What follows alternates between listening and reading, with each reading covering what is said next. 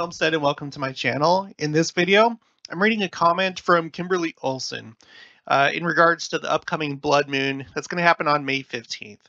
She says, Jared, I'm curious to hear your thoughts regarding the upcoming blood moon beginning on May 15th. There appears to be a chiasmus of blood moons.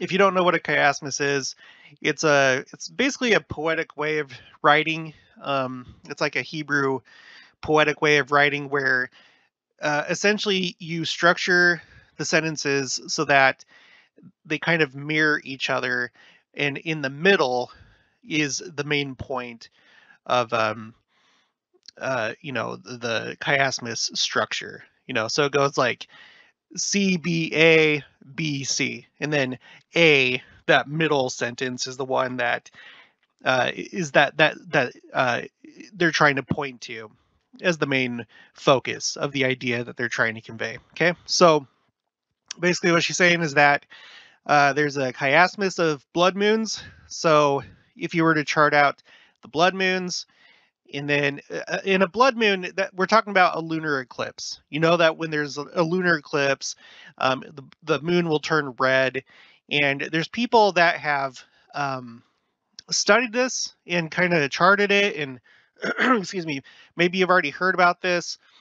If you just do a Google search for blood moons on Jewish holidays, uh, you'll come up with any number of different things where uh, I guess people have noticed a pattern of blood moons occurring on Jewish feast days.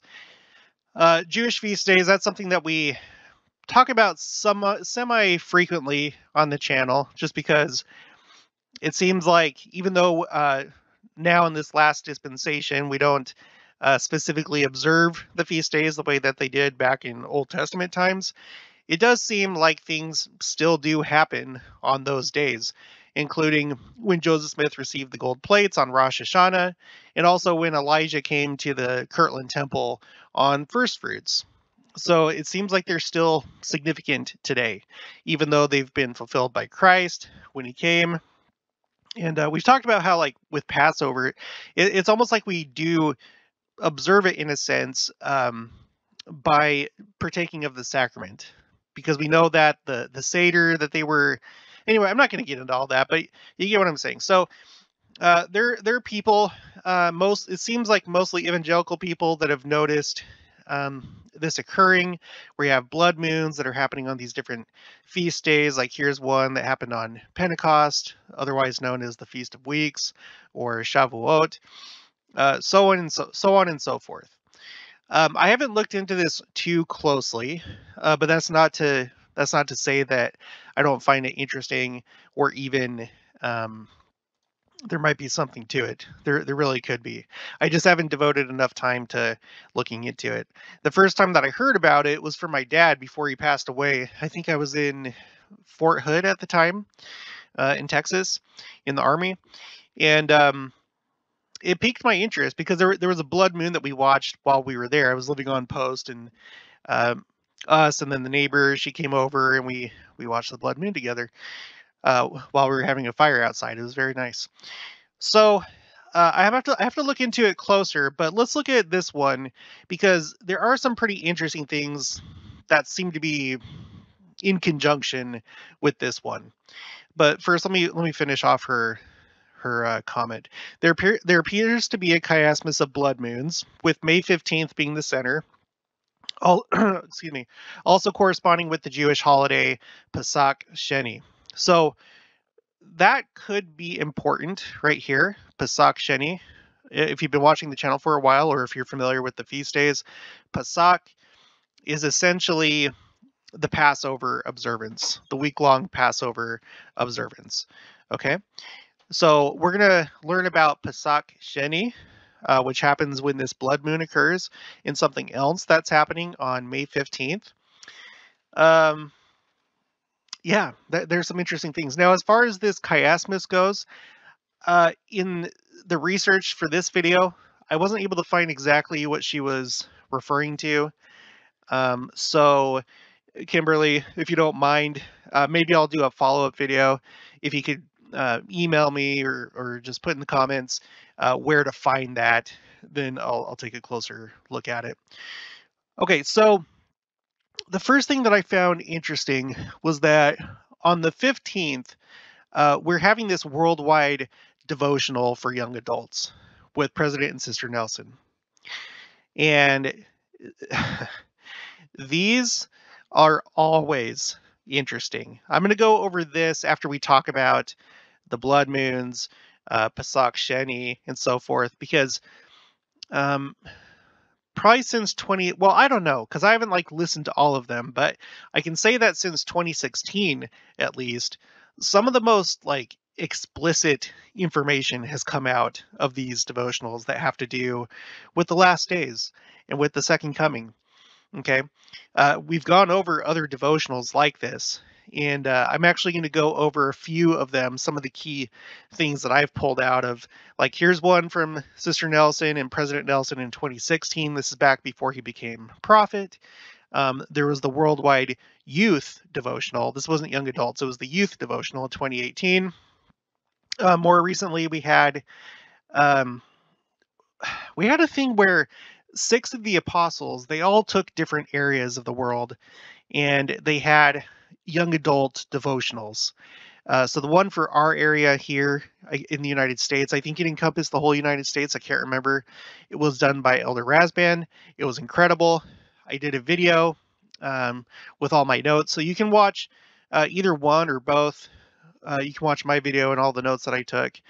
Um, he said really interesting things in this one, but we're going to go over some of the key points here. But first, let's go ahead and look at uh, this eclipse that's coming up. So uh, this is on timeanddate.com. And one thing that kind of like catches my attention right away, if you look at these two maps right here, is that it's pretty much like almost exactly centered on South America. Okay.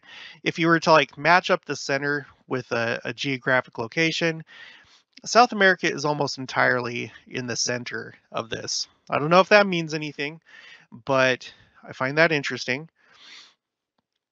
Okay, now here here's an animation. Okay, let's look at this animation. Pay attention to the little moon graphic right here. I'm not going to expand it because like with what I'm using right now, I don't think it'll show the things. I'll, I'll just have to manually zoom in. So look at look at this moon graphic right here as it crosses South America. It's almost like it, when it crosses the um, border, or when it makes when it makes uh, so to speak landfall, uh, is when it changes, and then when it leaves, that's when it changes back. So watch this. Okay, it's like red right now, red over South America, leaving South America, and then it goes back. Isn't that interesting? I, I think that's pretty interesting. I think that's pretty interesting.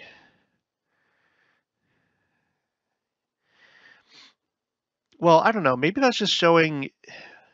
No, th- that's like the time. That's yeah. That's when it ha- okay. Yeah. So it it is in eclipse as it's crossing over South America. It's going over uh, let's see, Brazil, Bolivia, Paraguay, uh, northern Argentina, maybe a little tiny the tip, the, nor- the northern tip of Uruguay, uh, Peru, and Chile. So okay, so that's interesting. So th- this is the main affair. This this is the main area um, in question. It looks like we'll be able to see it uh, at least many of us here in the United States will be able to see it in its uh, full, um, you know, the, get the full effect of it. Um, let's see. Okay, let's move on. Okay, so here is the Hebrew calendar. Now, the thing to realize when it comes to uh, these eclipses and full moons and the Hebrew calendar is that the Hebrew calendar is based on uh, the lunar cycles, right? So when it's a new moon, uh, that's when the month changes from one one month to another. And then in the middle of the Hebrew month, like on the 15th, that's when you would have a full moon. And so as we look at this year, the 15th of Iyar, which is the month that we're in right now, uh, is it starts at sundown on the the 15th on our calendar, and then it goes into the next day on the 16th. So it starts on our 15th, and that's when the lunar eclipse is going to be. So, so technically speaking, it is happening on uh, the 15th of Iyar, and uh, Pesach Sheni. That begins on the 14th, and then the full day is on the 15th until sundown. So it doesn't seem that it's it's right on uh, Pesach Sheni, but I, I think it's still in conjunction with it and related to it. So what what is Pesach Sheni? Well, you'll notice. Okay, so up here, here's Pesach in April, and uh, this particular year, it was from the 16th to the 23rd of April, and then just a couple weeks later, we have Pesach Sheni. So whenever I'm whenever I'm learning anything about Judaism, I'd like to go to Chabad.org. It is a um, it's a Hasidic website that's designed to to reach out to Jews that uh, maybe have distance distance themselves in the faith, or um, it, it's like it's like them trying to get more Jews to be more observant of Judaism. It's essentially uh, an Orthodox. Sometimes you, you might call it an ultra Orthodox group and uh, they have this website and has a lot of good information. Okay, so what is Pesach Sheni, uh, the second Passover? Uh, what does Pesach Sheni mean? Pesach Sheni means second Passover sacrifice. It marks the day when someone who was unable to participate in the Passover offering in the proper time would observe the mitzvah, or that which is commandment, would observe the commandment exactly one month later. Okay, so for whatever reason, if you miss the first one, it's a day for you to still um, get on board. It's a it's a time for you to still be able to do it. It is customary to mark this day by eating matzah, and that's uh, unleavened bread, if possible, and by omitting uh, takanun from the prayer services. Tachanun, that is the penitential prayers recited on all non festive days. Um, how Pesach Sheni came about.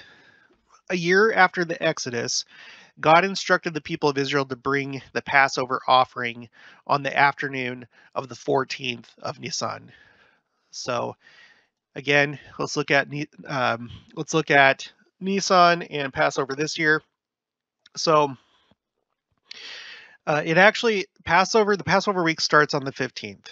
Okay, so it starts on sundown. So this year, uh, it was on the sixteenth, but it actually started at sundown on the fifteenth, and the day of the fifteenth is the fourteenth of Nisan.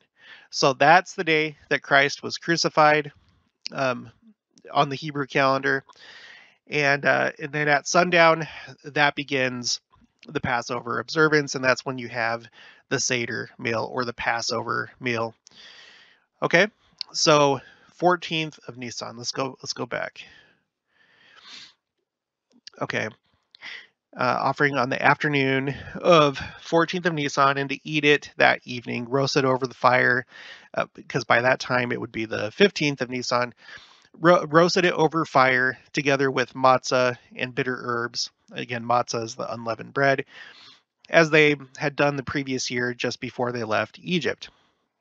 Quote, there were, however, certain persons who had become ritually impure through contact with the dead body and could not therefore prepare the Passover offering on that day.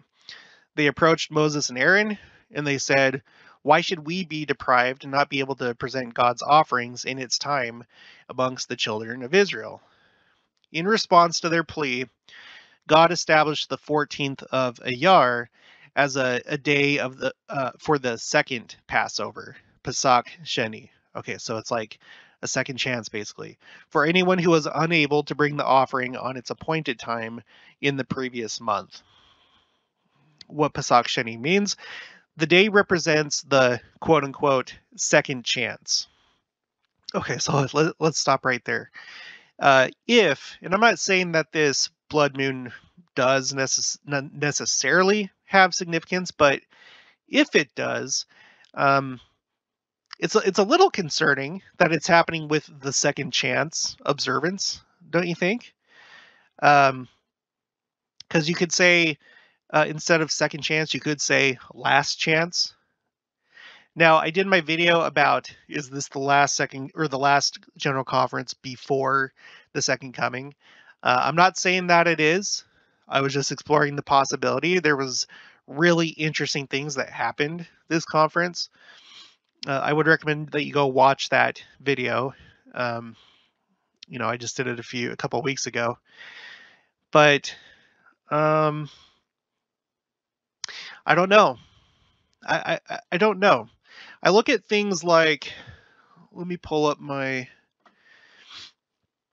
let me pull up my spreadsheet.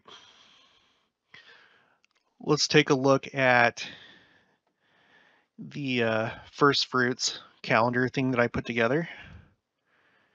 Here we are. So right now, for 2022, and not the whole year, it just goes until September 2022. Uh, we have we're in a Shemitah year, which is a sabbatical year. Happens every seven years. It, it's basically the Sunday, or sorry, uh, if if, it, if it's like in Judaism, it's the Saturday. It's the it's the Sabbath of years. Okay, it's the Sabbath of years, and um, so we're in a Shemitah year. This year, the Passover week started on the same day that it did during the, the last week of Christ's life, meaning that Pesach 1 was on Saturday and Friday was uh, Pesach Eve or the 14th of Nisan, the day of the sacrifice of the Paschal Lamb. Okay, so that doesn't always happen because uh, again, since Pesach is tied to the lunar cycle, it can be it can start any day uh, during the week. So this year is one of relatively few years when it, it happens to be in sync with when uh, the last week of Christ's life. Okay, so Shemitah year in sync with the same the last week of Christ's life, uh, and then uh, both first fruits and Easter were on the same day on the 17th. Easter is essentially the Christian observance of first fruits. We, we no longer celebrate it as first fruits, uh, which is on the 16th of Nisan. We observe it as Easter, uh, commemorating when Christ fulfilled first fruits and became the first fruits, the first uh, one resurrected. Okay, so as you can see from this calendar here, uh, all the red, that means that it, you know, whenever you see red, it doesn't match up. So yeah, it's not always that Easter and first fruits match up, but it did this year. So it's a Shemitah year. Uh, Passover started on the same day that it did in, during the last week of Christ's life, and Easter and first fruits were on the same day, and they were both on the 17th. And you, will just have to go back if you're new. We've been talking a lot about the seven, eh, the number 17 it comes up a lot. President Nelson is the 17th uh, president of the church. Uh, I've been kind of looking at it as well. We've we've done a lot of research uh, from BYU and other places how seven and ten are basically they're similar numbers. They both represent perfection and completion uh, in a couple different ways. So when you put those together, if you add them up, it's 17. And that is how you know Old Testament peoples and New Testament peoples how they viewed numbers. Uh, they viewed numbers for what they were, but they also had symbolic meaning. In a way, it was a way of communicating ideas. So, but this isn't a video about 17. You'll just have to go back and watch my other videos. Uh, for those of you who know, then you know. Okay, so it does seem it does seem to be a special year. Okay, because of this, um, because President Nelson seems to have achieved his goal, uh, if he did have a goal, of completing or at least announcing a hundred temples. Because we we've looked at that before, how that was a goal of President Hinckley was to have 100 completed temples by the by the end of the year 2000. He didn't announce 100, but he wanted to have 100 done, constructed in operation by the end of the year 2000. Uh, well, it, it seems like something kind of similar happened with President Nelson, but in this case, it was announcing 100 temples. Now, if if he lives beyond uh, this year, then he's he's going to be the oldest apostle or prophet uh, of this entire dispensation, going all the way back to Joseph Smith. So, you know, there probably would be more temples announced, but I just think that it's interesting that this year he uh, he completed that goal by announcing 17 temples. He completed 100 by announcing 17 temples. okay. Uh, the last sentence of his uh, last talk, this conference, uh, almost seemed to indicate that uh, maybe we'd be meeting the Lord soon, whether that's Adam-ondi-Ahman or something else. Um, again, we don't know how long, how far apart these different events are. Adam-ondi-Ahman, Christ coming to New Jerusalem, Christ coming to the Jews, Christ going, uh, you know, appearing to the world. Uh, I, I don't think we know how long apart those are. And I was just wondering if it's possible that Adam-ondi-Ahman would happen this year.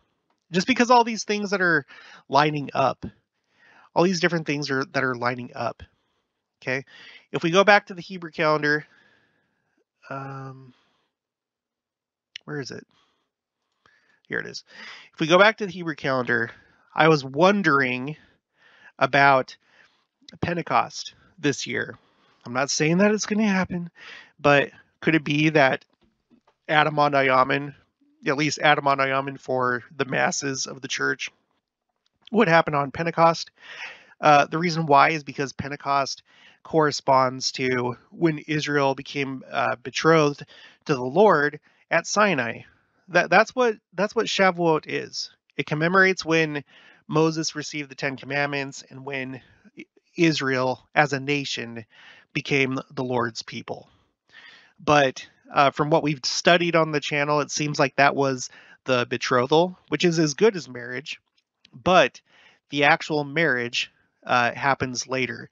In, in uh, Jewish tradition, it's it's a year later. So could it be, could it be that this observance, Shavuot, Pentecost, would be the same day that he would marry his people at Adam-ondi-Ahman? Maybe. I don't know. We'll see what happens, but I'm just saying that I wouldn't be surprised. So in other words, if we're having this this uh, blood moon on last chance, okay, if it's high if it's highlighting last chance, and then exactly three weeks later we have Pentecost, uh, and and if it is Adam-ondi-Ahman uh, on that day or those two days or whatever, um, it would all work out really nice. That's all I'm saying. That's all I'm saying. That's all I'm saying you don't don't get upset. I know there's people that are already no, it's impossible. Well, we'll see, won't we? But it's just something that's interesting to observe. It's something that's interesting to observe. Okay, so by the way, today, uh, the day of this recording is the 11th, and we're on the on the 25th day of the Omer count. The Omer count begins on first fruits it's a 50 day count that ends with Shavuot, Pentecost. Pentecost is the 50th day. So, starting during the Passover week on the 16th of Nisan, which is the second day of Passover, you start the 50 day Omer count. And it counts up to 50. And on the 50th day is Pentecost. That's why it's called Pentecost. So, so uh, that's what we have going on right now. We're halfway through it as of today. We are on the 25th day. We're on the 25th day, and one, two, three, four days from now, or you could say five days from now, uh, if you're looking at the Hebrew calendar, five days from now, we're going to have a blood moon right after second chance. Pesach Sheni, second chance. You, you get what I'm saying? Uh, okay, so the day represents the quote unquote second chance achieved by Teshuva. What's Teshuva? Hey, pull up. There's supposed to be a little me. There's supposed to be a little drop down that or a little thing that pops up. There it is. Teshuva means repentance, return to a Jew's true essence. So think about this. President Nelson in 2019, in his Come Follow Me talk in conference, uh, at the end, let's just pull it up. Screw it. Let's just pull it up. Come Follow Me, President Nelson, 2019. Okay. Let's think about let's think about second chance, shall we? Okay. At the end of his talk, and by the way, this was the center of a chiasmus right here. This talk right here. Uh, in fact, I have it here on my tracker, my handy dandy tracker. President Nelson's talks. Okay, you see this like uh, this uh, rainbow thing here in in um, in column E. So what what you have here is I noticed like well I noticed through the course of this channel as I was doing things that there seemed to be kind of a pattern to his first um, his first talks here. Okay, so th this blue area at the bottom, this is his first conference. Okay, he spoke five times. The next conference, right here in white, he spoke four times. His third conference, he only spoke three times.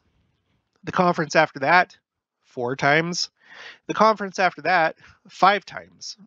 so, whether he intended it or not, or whether maybe the Lord inspired it or not, the fact of the matter is the pattern is five, four, three, four, five. Chiasmus, not strictly speaking, uh, but a mirroring, what, however you want to think of it, a, a, a um, symmetry, whatever. So on his uh, 11th talk, and 11 is a fascinating number, by the way, but 11th talk, come follow me. This is what he says at the end. Now, as president of his church, I plead with you who have not who have distanced yourselves from the church, and with you who have not really yet sought to know the Savior's church has been restored, do the spiritual work to find out for yourselves, and please do it now. Time is running out. And by the way, when you watch the video of this talk, and I, I would encourage you to do that, he leans into the microphone and like raises his eyebrows when he says this. As he's saying time is running out, he leans into the microphone. Also on this tracker, we've noted that the phrase running out, okay, you see it right here. I'll put it on the very far left. It, it's only ever been said two times in General Conference since 1942. You see all this white space? It's said once by President Eyring in 2005. And I think that the I think that the context of this I think that the context of President Eyring saying this, and at the time he was Elder Eyring, is that they had just completed all those temples that President Hinckley had announced. And it's like, and he was basically saying, you know, are we may be running out of time to do the work that we need to do, talking about doing temple work. Anyway, and then the only other time, uh, and the most like stunning thing that I've ever heard a prophet say uh, in for me personally. Uh, 2019, time is running out. And then what happens? Well, what happens this last year in uh, April 2022? Oops, not scriptures. What what is his what's his last talk called? What's it called? Now is the time. Now is the time and he shares this poem right here that's talking about time. And he did another talk uh, with a similar name. It, it was it was called "Now is the Time to Prepare," and it was 17 years ago. 17, 17 years ago, he shares a similar talk. It has the same poem, only now it's called "Time." Now is the time. And then we we've talked about this last thing right here. Ye shall be my people, and I will be your God. He says, May we be a people worthy of the Lord who said, Ye shall be my people, and I will be your God. And this is in the context. This is from Jeremiah, what is it, 30, 22. This is in the context of the second coming when Christ is king and he's with his people. Okay? So um so when we're when we're looking at Sheni, uh, when we're looking at Sheni, and it's the the second chance, and it's time for you to uh, do teshuva, right? The day represents the second chance achieved by teshuva, which is a return to a Jew's true essence. It makes me think of this. Returning to a Jew. So if we're members, we're members of the church. We're Israelites, um, right? Our lineage is declared in our patriarchal blessing. So for you Israelites in this church, President Nelson says, I plead with you who have distanced yourselves from the church, and with you who have not really sought to know that the Savior's church has been restored, do the spiritual work to find it out for yourselves, and please do it now. Time is running out. Okay? Second chance. Teshuva. The power of repentance and quote unquote return. In the words of Rabbi Yosef Yitzchak of Lubavitch, the second Passover means that it's never a lost case. Um, so, do I think that there's something special about this blood moon? Uh, I can't say for sure, but I find it pretty fascinating, given the given this last general conference and the one in 2019 and everything else that we've studied on this channel. Uh, I would take it seriously. If you're someone that's distanced yourself from the church or you don't really have a testimony, uh, I don't know. Maybe the 15th is kind of a warning. I don't know. And then what happens on Pentecost this year? I don't know. Maybe nothing. Maybe, maybe all this is nothing, but it doesn't hurt to observe it doesn't hurt to observe these things. Okay, so how do the Jews uh, view blood moons? Uh, this is an article that's talking about a blood moon on the 15th of Av. Av is a is a month of theirs.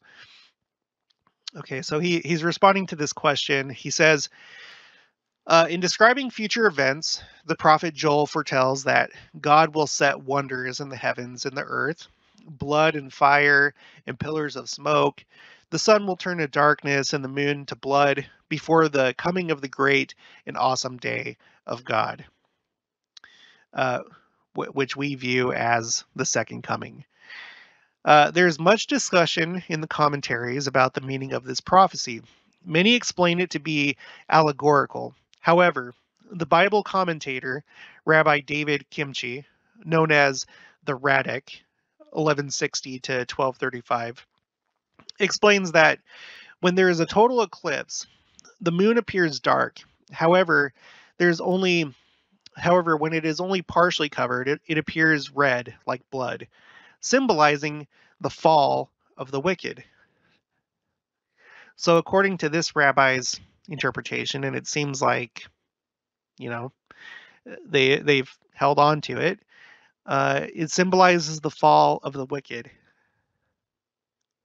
So again, if we have Adam-ondi-Ahman or or even some other kind of event, there's there's different events that are associated with the second coming. So don't think that I'm saying that this is the second coming. Don't don't think that I'm saying that it's anything specific. Although I do feel like Adam-ondi-Ahman, if anything, is a good candidate. Um, there's any number of things that could happen Okay, so whatever it is, if this is signaling something, then um, that's a little concerning, isn't it? So we just talked about how this is second chance. This is the day of second chance and returning to who you're supposed to be as a Jew. Uh, and I guess in our case, uh, you could just convert that over to becoming a true Israelite. Uh, second chance, and the the blood moon itself is uh, essentially an omen of the fall of the wicked. So coupling that together, that's that's a bit uh, yeah, it's a bit concerning if that's what this is happen if that if this is what's happening. Um, in other words, yes, according to some, a blood moon is indeed an omen, but an omen of the downfall of the wicked. So, I guess what we should maybe take from this is uh, just like we should anyway. How about we not be wicked? How about we make sure that we're on the right side? Right? And they've been telling us everything that we need to do to be to to essentially meet the Lord. Get on the covenant path if you're not on it. And once you're on the covenant path, stay there. Discover the joy of daily repentance. Learn about God and how he works, right? President Nelson gave us five things um, to think about and do since the last conference. Okay, a full moon. Uh, as you wrote, this eclipse will take place on Tu B'Av, the 15th day of the month of Av. So this is talking about a past blood moon. It is interesting to note that a lunar eclipse, or quote unquote blood moon, can by definition only occur on the 15th day of a Jewish month, i.e., when there is a full moon. So on the Hebrew calendar, it's always going to happen on the 15th of, of the Hebrew month. And when we look again at the Hebrew calendar, let's look at some of these feast days. Okay, so the first ones that we come across, well, I guess you could you could include uh, Purim. I don't care how it's pronounced. Don't don't correct my pronunciation. I don't care. Uh, Purim. You have the e- Purim Eve, and then Purim itself, and then there's also there's a Shushan Purim or Purim, which is essentially it has to do it, it gets into like when the Jews were in Persia and um anyway, this isn't a history lesson about that, but the 15th of Adar, it looks like, is Purim. So there's a full moon on that day. In April, or sorry, in Nisan, uh, which is usually in April, the 15th is associated with the first day of the Passover uh, week. Pesach 1 is on the 15th, so that's a full moon day. Um, okay, let's move forward. Uh, Pesach Sheni is on the 14th, so there's always a full moon uh, following Pesach Sheni. Okay. Pentecost is on the 6th and 7th, so it's never going to have uh, the the Feast of Weeks is never going to have a full moon on it. Uh, here's Tu B'Av that the article is talking about. It's on the 15th of Av, so it's always going to have a full moon there. Rosh Hashanah is on the first and second. Now, even though it's the seventh month, uh, Tishri is the seventh month. For that, that's when the date changes. That's just how it works. Even though Nisan is the first month, the date changes on the seventh month. That's just how they do it. So ju- just accept it. Uh, so uh, and then Yom Kippur, the holiest day of the year in Judaism, is on the 10th. So full moons are not going to happen on Rosh Hashanah or Yom Kippur, but it will happen on uh, the Feast of Tabernacles, Sukkot. Okay? So that's how it goes. So those are the the possible days, possible Jewish feast days, observances, uh, holy days, whatever you want to call them. Those are the those are the possible days that there would be a blood moon because those are the only days where you're going to have a full moon. Okay, so that's how that goes. Okay, let's go back here. Um, ordinarily, the Talmud tells us that a lunar eclipse is is considered a bad sign for the Jews, since we calculate the months according to the lunar cycle. However, a full moon is considered to be a positive sign for the very same reason. In the end, we are reminded of the words of our sages that, quote, when Jews perform the will of God, they need not worry about omens or celestial phenomenon. Thus says the Lord, do not be frightened by the signs of the heavens. And and we shouldn't be. Especially if you're in your life, you're you're trying to live a righteous life. You're keeping your covenants. You're doing what you you're doing everything that you know the Lord wants you to do. We don't have to be perfect, but you know, we need to have our our hearts pointed in the right direction. And so yeah, um you know, if you were to like look at it like they do, then blood moons, you know, if it is a thing, and I think it yeah, probably probably is. I wouldn't be surprised if it is. Uh, it, it's simply just a bad thing for the wicked. And if you're Jewish or if you're a member of the church and you're doing wickedly, it's pr- probably not a good thing for you. Um, but anyway, that's I'm not saying that that's doctrine. That's not something that's taught in our church. But this is this is just something that's interesting, and the Lord could be could be communicating, or this might be simply be part of His order, uh, the order in which He does things, right? So, um, so there you have it. That's what we have going on. Now, as far as what I was talking about earlier, how we have this uh, worldwide youth devotional uh, for young adults on the 15th, the day of the, the blood moon. There are fascinating, fascinating things that happen during these devotionals that are said. Uh, oh, sorry. Before I go on to that, I just wanted to point out as I was doing a search, just doing the research for this video, uh, the century's longest blood moon happened in, in 2018. Okay. That was President Nelson's first year as prophet. That year had the longest blood moon was when President Nelson became prophet. So think about if the Lord is using this as a sign and it's a it's a omen for the wicked, you know, if President Nelson is the prophet of the second coming, might make sense. It might make sense. And uh, I've I've made the mistake before on the channel where I've been talking about all the all the special things that have happened on in um, 2017 because we've talked about 17 a lot on the channel.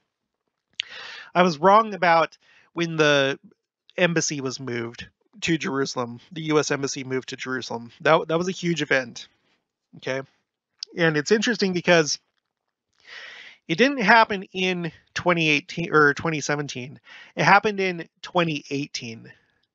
And th- this article here is talking about how uh, evangelicals, you know, they've a lot of them have really followed the blood moons, and they've noted uh, noted that you know, right here it says linking the celestial event to the U.S. embassy move to Jerusalem, and they may not be wrong about that. And again, it's interesting that if President Nelson is the prophet of the second coming, uh, I guess it's kind of fitting that the U.S. embassy would move to Jerusalem the same year that that he becomes prophet, right? Recognizing Jerusalem as the capital because we know that during the during the millennium we're going to have the two capitals. We're going to have New Jerusalem in the Americas. We're going to have Old Jerusalem. Those are the two capitals. In the year that he becomes prophet, the United States, uh, in a way, symbolically, well, maybe not so much symbolically, they recognize Jerusalem as the capital and move the embassy to Jerusalem. Fascinating. Okay, so let's look at these. Um, just a few examples, some interesting things that have been said during these worldwide devotionals. Okay. First, uh, one of the most fascinating things that maybe has ever been said in a devotional. This is uh, Wendy Nelson, Becoming the Person You Were Born to Be. This is a worldwide youth devotional for young adults, January 10th, 2016, uh, at BYU, Hawaii. Okay, so that's where it's taking place. President Nelson is not President Nelson yet. He is Elder Nelson, although he is. Uh, I think at that time he was probably president of the of the um, Quorum of the Twelve. So, okay, at the end of her talk, you know, so many of you are already familiar with this. She says, Now, a question as I conclude. What if you learned that the Savior had already returned to this earth? That he, as part of his second coming, because again, the second coming has many different events associated with it, including multiple appearances of the of the Savior himself. So what if you were to learn that he, as part of his second coming, had already met with some of his true followers in several marvelous, large gatherings? Gatherings about which the world, including CNN and the blogosphere, knew nothing about. If you found out that the Savior had already was already on the earth, what would you desperately want to do today? You know, what would you be willing and ready to do tomorrow? So that's an interesting thing to say, isn't it? Um, she has a footnote here, footnote 13. We've we've read this a couple times on the channel already. It takes you to Bruce R. McConkie's Millennial Messiah, where he is essentially talking about uh, Adam being broken up between different sessions and not all in one place. Of course, like the main the main thing what happened at Adam but he suggests in his book that there would be multiple sessions across all the different continents. Okay, and that's what what she's referencing here. She she references that exact page as she says this. So that's why I have to wonder, you know, is it something that takes place over just one weekend? Uh, does it take place over a month, a year, maybe a couple years? I don't know. I haven't read anything that's said how long exactly it's supposed to take. Uh, there's the rumor that I've talked about on the channel before. Someone claims to. Uh, I don't know. I don't necessarily take it too seriously, but someone claims to have attended uh, one of the sessions last, or, or yeah, last year in 2021. I'm not pushing that at all, but I'm not also not going to just like reject it. Uh, could have happened. I don't know. We looked at the tracker, and I was looking for. I was looking for phrases and words that had to do with being resurrected, and we observed something really interesting. Here it is right here. So someone had said that here it is God is among us. That Elder Uchtdorf in his talk, he his talk was called God is Among Us, and it was in 2021, so last year, the the supposed year of the the initial or the first sessions of Adam-ondi-Ahman. Now, I'm not if if it is true, I'm not concerned that I haven't been there because again, there might be sessions just for small groups of people at first, varying sizes, maybe later it's for the whole church. Okay, I, I, I already know. Oh, gosh, I, I can already hear the angry typing. No, no, it's not going to happen that way. I know exactly how it's going to happen, and that's wrong. You're misleading the people.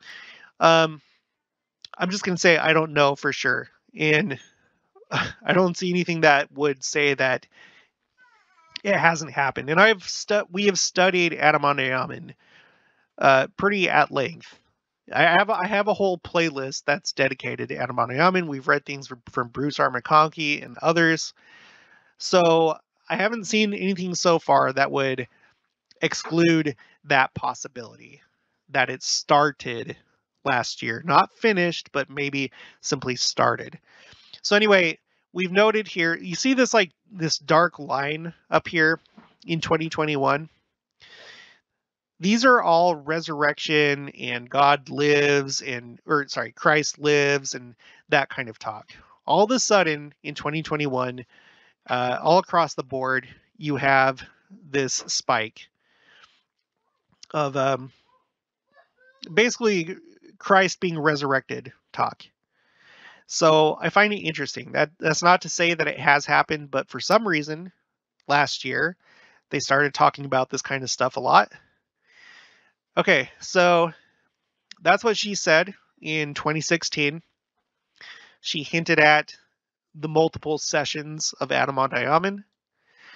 Now, President Nelson, uh, he okay, here it is right here. President Nelson of the, of the Quorum of the Twelve Apostles. So he was president of the Quorum of the Twelve at that time. Uh, during this same event, he spoke and he gave an incredible talk called Becoming True Millennials, where he uh, essentially explicitly tells uh, the audience that uh, the the the the title millennials as a generation is perfect because you're actually going to be living in the millennium. So let me just read a few things that he says here.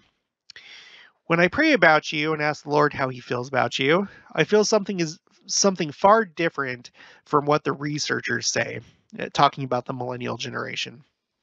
Spiritual, spiritual impressions I've received about you lead me to believe that the term millennial may actually be perfect for you for a much different reason than the experts may ever understand. The term millennial is perfect for you if that term reminds you of who you really are and what your purpose in life really is. A true millennial is one who has taught, who was taught and did teach the gospel of Jesus Christ primordially, and who made covenants with our Heavenly Father there about courageous things, even morally courageous things that you would do while here on earth. A true millennial is a man or woman whom God trusted enough to send to earth during the most compelling dispensation in the history of this world. A true millennial is a man or woman who lives now to help prepare the people for his second cut or for the world for the second coming of Jesus Christ and his millennial reign. Make no mistake about it, you were born to be a true millennial. And then he says other things. He says, My first recommendation, uh, my first recommendation, learn who you really are. In this third bullet point, it says, You were taught in the spirit world to prepare for anything and everything you would encounter during this latter part of these latter days. Latter part of these latter days. And then he says, You are living in the quote unquote 11th hour.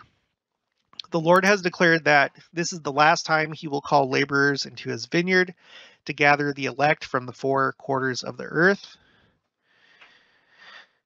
Um, I think there may have been something else here. Let me see if I can find it. My beloved brothers and sisters, you were born to be true millennials. You are a chosen generation, foredetermined by God to do remarkable work to help prepare the people of this world for the second coming of the Lord.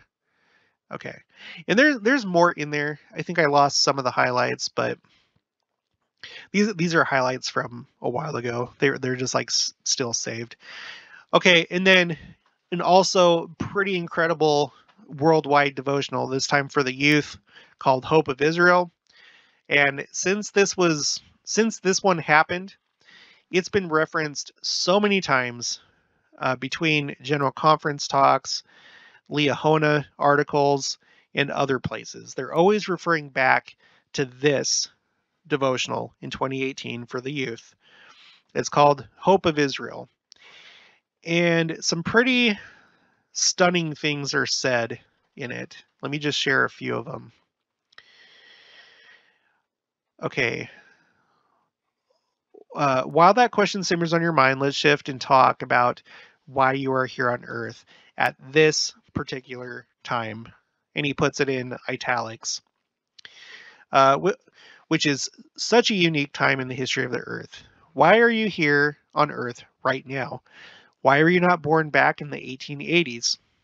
And just as a side note, in the 1880s, the church was already established. It had already been established for 50 years by that point.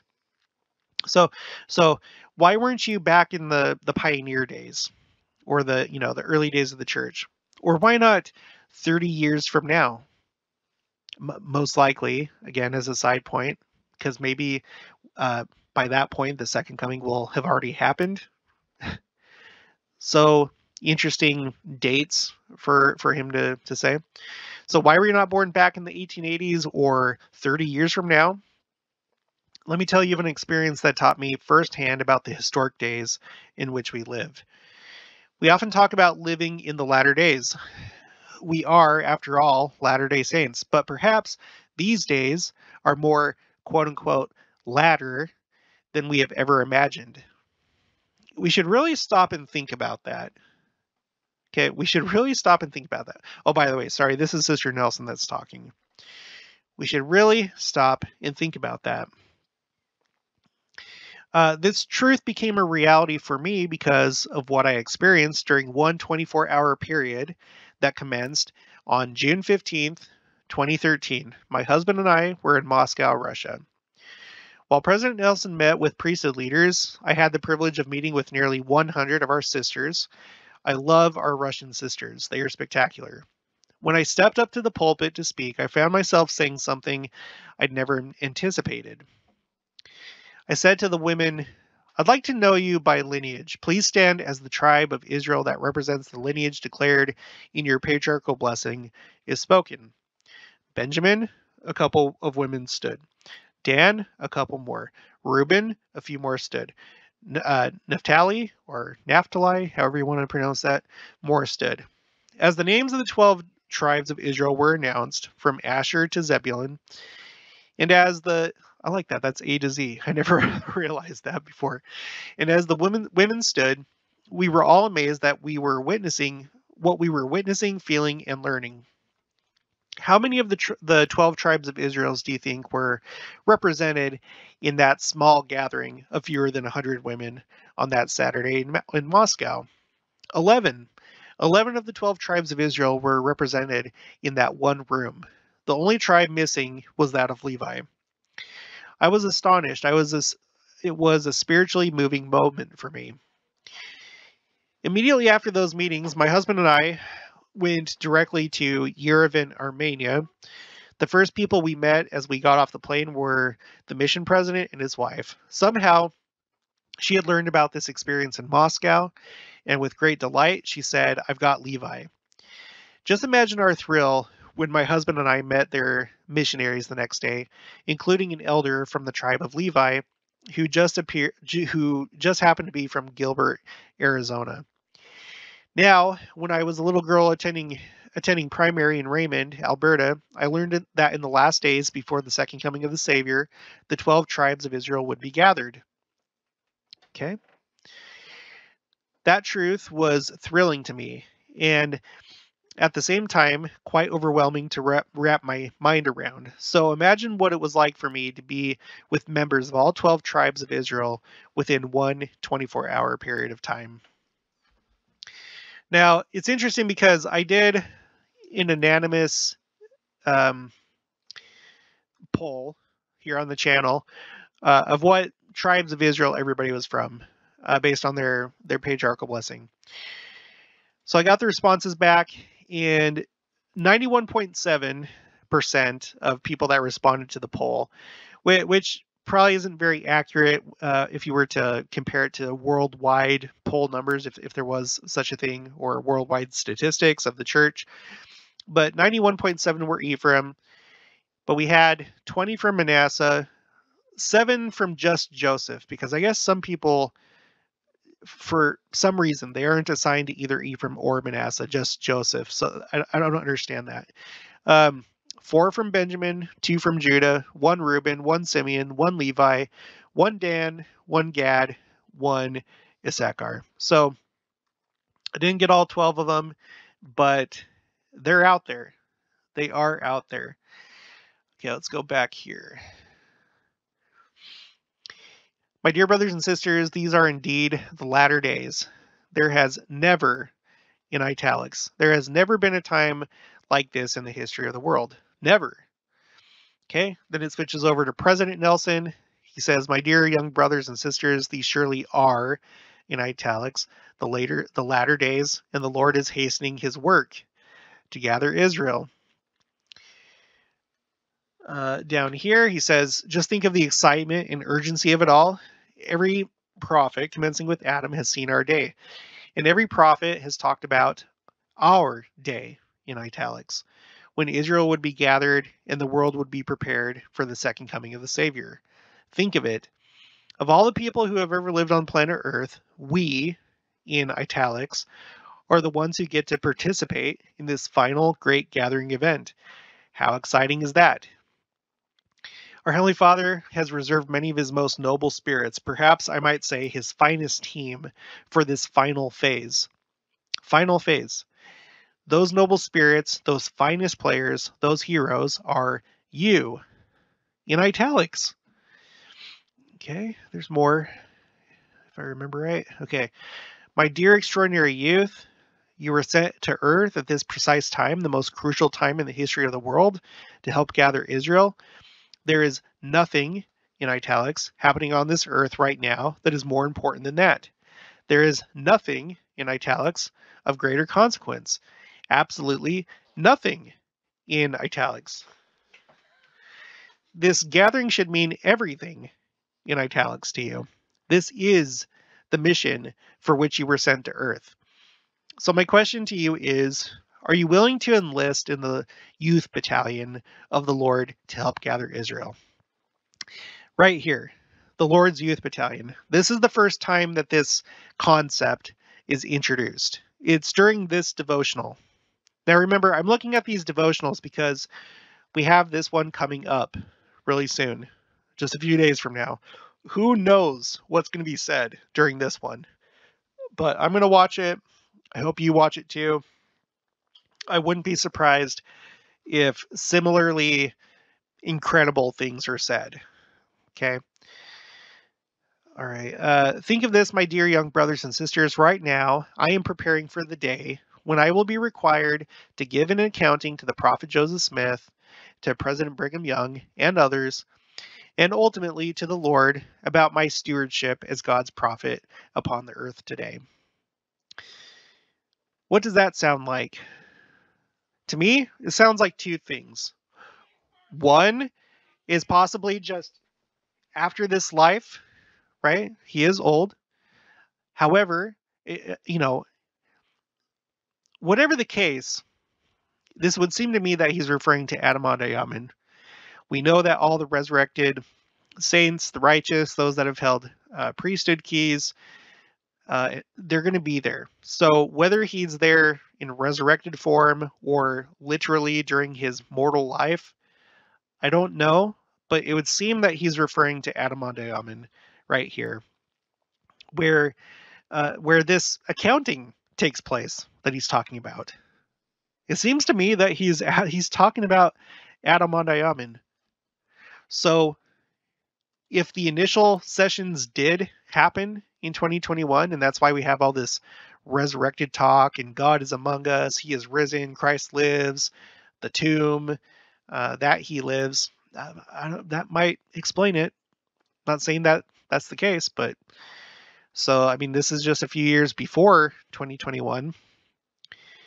Then he says, So now I am inviting every young woman and every young man between the ages of 12 and 18 in the Church of Jesus Christ of Latter day Saints to enlist in the youth battalion of the Lord to help gather Israel. Well, guess what? I put together a spreadsheet for that too. And at the time of this, at, oh, let's see, let's zoom into it. At the time of that devotional, th this is the breakdown right here. So if you were 18 at that time, uh, and, and, this is just for young men. Uh, so if you were 18 at that time, then you started your mission that year, right? And then 17 year olds would have started their mission roughly in 2019.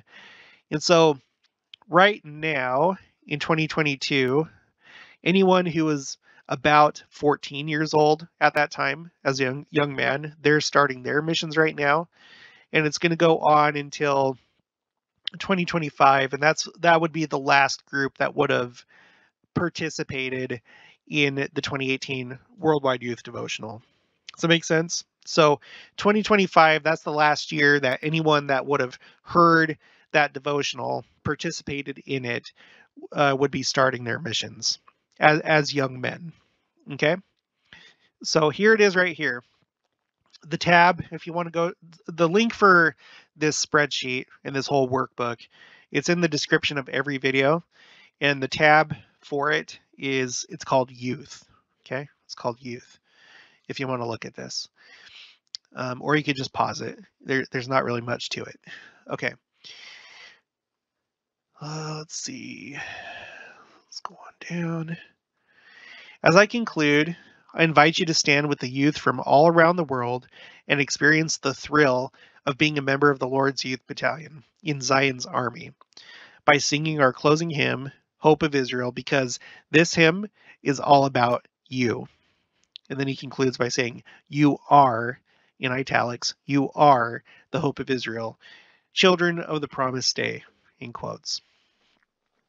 So, again, uh, for this one, uh, the one by Elder Rasband, which was only one of six that were happening at the same time, six different apostles.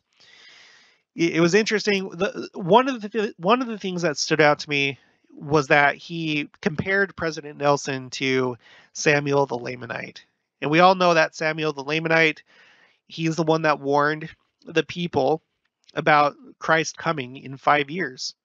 Am I suggesting that that's what he's saying about President Nelson? Uh, like, oh, President Nelson is is a sign that it's going to happen in five years? Uh, no, but it might be pretty close, or just as close as Samuel the Lamanite was to when Christ came when he was born. You might be able to compare that to President Nelson and how close we are to when Christ comes uh, like just relatively speaking. Uh, Elder Bednar, he also he said something similar.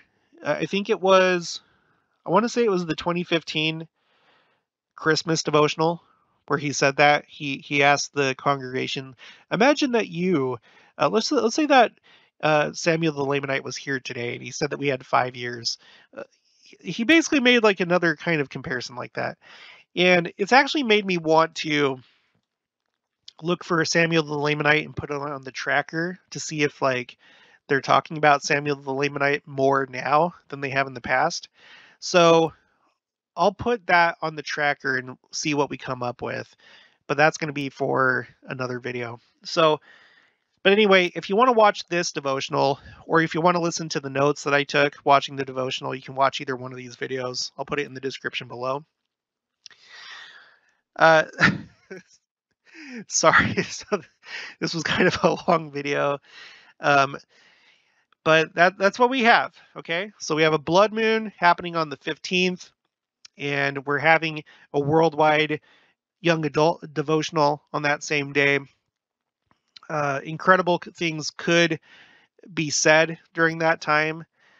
Uh, it may relate to the last chance, the second chance, Pesach Sheni, we have Shavuot or Pentecost, the, the Harvest Festival, the, the Festival of Weeks coming up on June 5th and 6th.